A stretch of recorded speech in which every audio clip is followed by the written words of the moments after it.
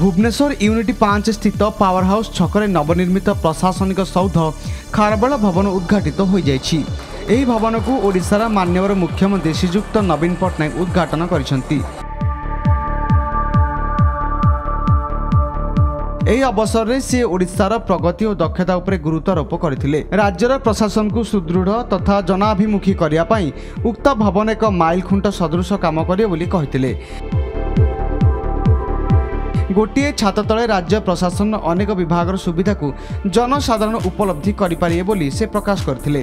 ଏହି ଭବନରେ ରାଜ୍ୟ ସରକାରଙ୍କର ଶିଳ୍ପ ଏମ୍ଏସ୍ଏମ୍ଇ ଶକ୍ତି ଶ୍ରମ ବାଣିଜ୍ୟ ଓ ପରିବହନ ଦକ୍ଷତା ବିକାଶ ଓ ବୈଷୟିକ ଶିକ୍ଷା ବିଜ୍ଞାନ ଓ କାରିଗରୀ କୌଶଳ ଜଙ୍ଗଲ ଓ ପରିବେଶ ଇଲେକ୍ଟ୍ରୋନିକ୍ସ ଓ ଆଇଟି ନଗର ଉନ୍ନୟନ ହସ୍ତତନ୍ତ ଓ ବୟନଶିଳ୍ପ ବିଭାଗ ସ୍ଥାନ ପାଇବା ସହ ମୁଖ୍ୟମନ୍ତ୍ରୀଙ୍କ ବିଶ୍ରାମ କକ୍ଷ ମଧ୍ୟ ରହିବ।